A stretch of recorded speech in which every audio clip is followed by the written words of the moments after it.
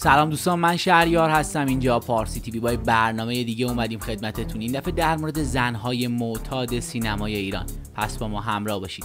پیشا پیش مرسی از اینکه پایین همین ویدیو. کانال ما رو subscribe می‌کنید و با زدن دکمه زنگوله از ویدیوهای جدید ما مطلع میشید و با like تون از فعالیت ها و کارامون حمایت می‌کنید.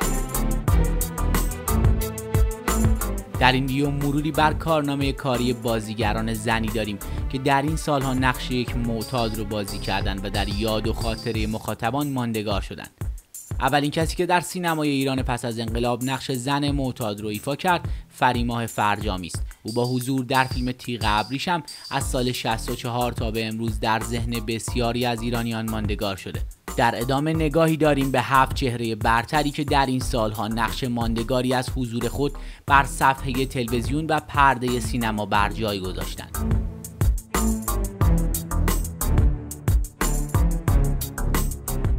فریماه فرجامی تیغ و ابریشم متولد 1330 با ساخت فیلم تیغ و ابریشم کاراکتر زن معتاد به شکلی جدی وارد سینمای ایران شد و فریماه فرجامی نقش زنی معتاد رو که سرخورده از برآورده نشدن رویاهایش در آن سوی مرزها به اعتیاد کشیده شده است به خوبی در این اثر ایفا می کند چهره مغموم و خاص فریما فرجامی همراه با کارگردانی کیمیایی که خود پیش از آن یکی از ماندنی ترین شخصیت های معتاد در سینمای ایران را پرورنده بود با بازی بهروز وسوقی در نقش سید در فیلم تحسین شده گوزها به یک بازی بیرونی کنترل شده برای نمایش رنج دیدگی این زن تبدیل شد. رنج دیدگی باورپذیری که راهی جز خودکشی برایش باقی نگذاشت. پانتا بهرام مسافر. متولد 1348 یکی از پرمخاطب ترین سریال های تلویزیونی چه در زمان خودش و چه در سالهای پس از آن مسافر بود. اثری که به لحاظ داستانی و بازی بازیگرانش توانسته هنوز هم در یاد و خاطره ایرانیان باقی بماند. مسافر به دلیل بازی خاص پانتا بهرام در نقش یک دختر معتاد به نام منیژه و لحن و ادای دیالوگ جایگاه متفاوتی در میان کارهای او دارد. بهرام در این سریال چهره جدیدی از یک زن معتاد را که به خاطر اعتیادش همه چیز را از دست می‌دهد ارائه کرد. او که در این سریال با ابوالفضل پور عرب همبازی بود در بسیاری از مواقع بازی همسط و در پاره این موارد بالاتر از او به نمایش گذاشت. بهرام در آن سالها چهره جدیدی در تلویزیون بود و همین امر هم به او کمک کرد تا نقشش را برای بیننده باورپذیر کند. ستاره اسکندری داستان یک شهر مرگ تدریجی یک رویا. متولد 1350 یکی از بهترین بازی های ستاره اسکندری در سال 78 و زمانی بود که در یکی از اپیزودهای مجموعه داستان یک شهر نقش دختر معتادی رو بازی کرد که پدرش در سن پایین او رو به اجبار به عقد مردی میان سال و معتاد درآورده بود. اسقر فرهادی زمانی این قصه را می‌سازد که تا پیش از آن هنوز تصویری از یک زن معتاد در تلویزیون نشان داده نشده بود. اما این کارگردان موفق می شود یکی از بهترین بازی ها را از اسکندری در این نقش بگیرد. نقشی که اگرچه کوتاه بود اما در ذهن بسیاری ماندگار شد.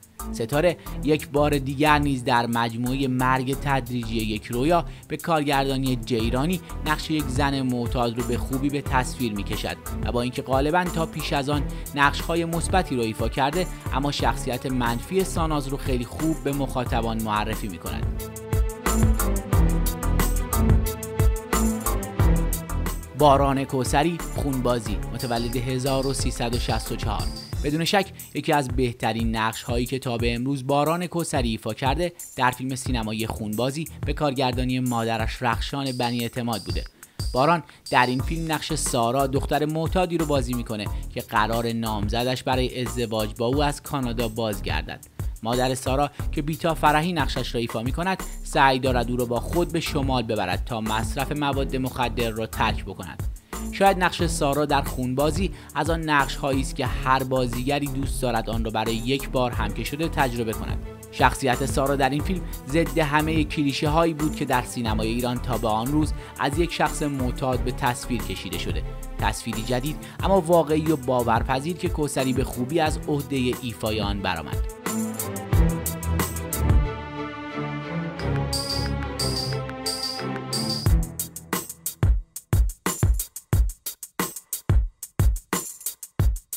تناز تبا تبایی مرهم. متولد 1362 تناز تباتبایی از آن دست بازیگرانی است که کم کار می کند اما در انتخاب نقشهایش همیشه وسواس زیادی به خرج می دهد و نمی توانید نمونه ای از کارهایش را ببینید و به تواناییهایش در بازیگری خورده بگیرید.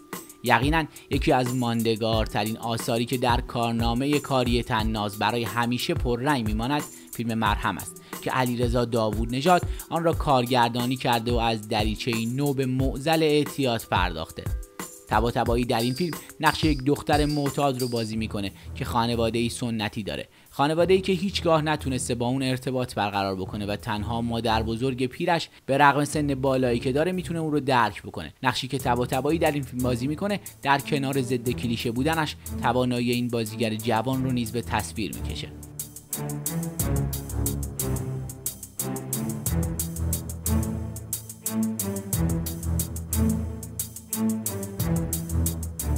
بهاره افشاری تصفیه حساب. از زمانی که بهاره افشاری پا به دنیای بازیگری گذاشته تقریبا توانسته از عهده ایفای تمام نقشهایش به خوبی بر بیاد و یکی از بهترین کارهایش فیلم تصفیه حساب تهمینه میلانی است. افشاری در این فیلم نقش لیلا دختر معتادی رو بازی می‌کنه که از کودکی به خاطر محیطی که در آن رشد کرده رو به سیگار و اعتیاد آورده و در سن جوانی با دنیایی از مشکلات و سختی روبروست. اما آنچه جالب است این است که او در حالی شخصیت یک فرد معتاد رو برای مخاطبش باورپذیر می کند که در زندگی روزانه حتی با کشیدن سیگار هم بیگان است.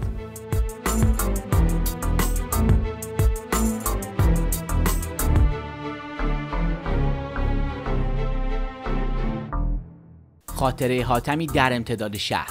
یکی از نقش های متفاوتی که خاطره حاتمی در این سالها ایفا کرده در فیلم در امتداد شهر به کارگردانی علی عطشانی است. حاتمی در این فیلم نقش یک دختر معتاد رو بازی می‌کنه که البته به دلیل ممیزی قسمت های زیادی از آن فیلم بیرون آورده شده.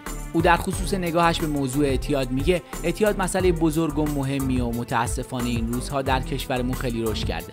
رشدی که نمی‌تونم درکش کنم و خیلی برام جای سوال داره. مسئله اعتیاد همیشه مرا درگیر خودش کرده و وقتی یک فرد معتاد رو در خیابون می‌بینم واقعا ناراحت میشم. جای تاسفه که با موزل اعتیاد هم مانند ایدز برخورد می‌کنن منظورم اینه که به این دو مشکل اصلا توجهی نمیشه. انگار اصلا این مشکلات در جامعه وجود نداره.